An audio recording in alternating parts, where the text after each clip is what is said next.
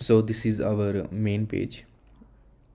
Okay we will uh, edit here. So first of all we will do one thing. We will just create two function whom we can recall. So the first function is first screen.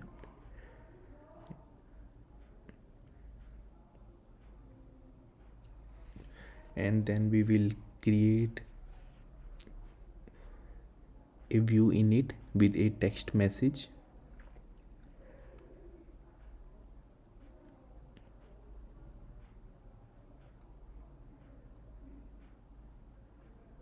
So flex 1 justify center and align item center to center the text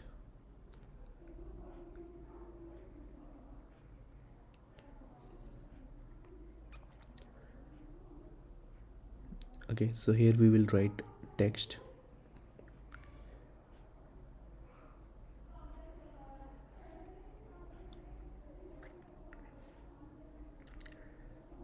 This is first screen. Now we will create another function. So we will copy this function here. And we will just change the name to second function second screen okay? So so we will change it here second. Now we will go to the documentation.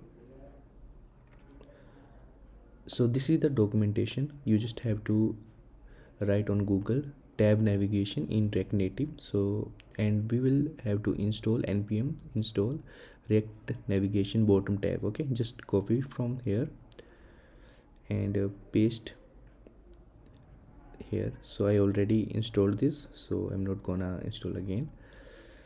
Okay. So after that we will go to the documentation again. And uh, there are two things navigation container and create bottom nav tab navigator. So uh, we will just take this yeah.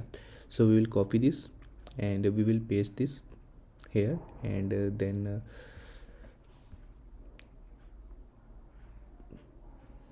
copy this. So we don't have to write just make it short.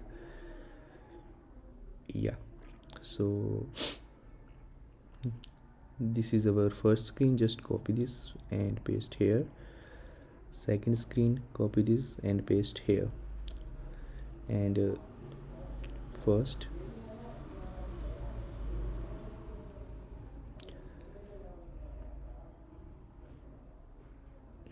Second okay this is just a name. So we will call create bottom tab navigator. So here it is and uh, navigation container here it is.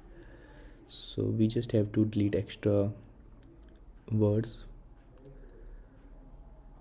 Okay so and also in navigation container.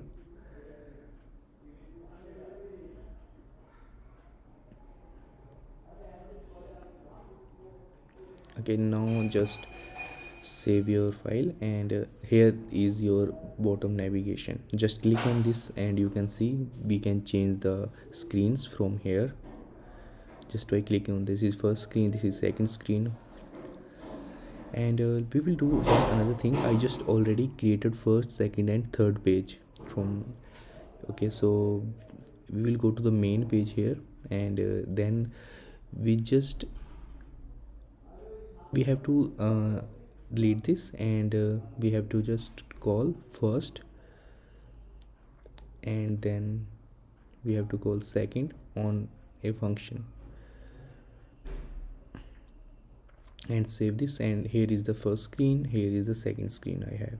Okay so this is very very simple and uh, if you have any question just comment it and i will try to answer as soon as possible. Just follow this documentation. You don't have to do anything just follow this documentation. You can also customize your appearance from here. You can add text you can add icons. So thank you.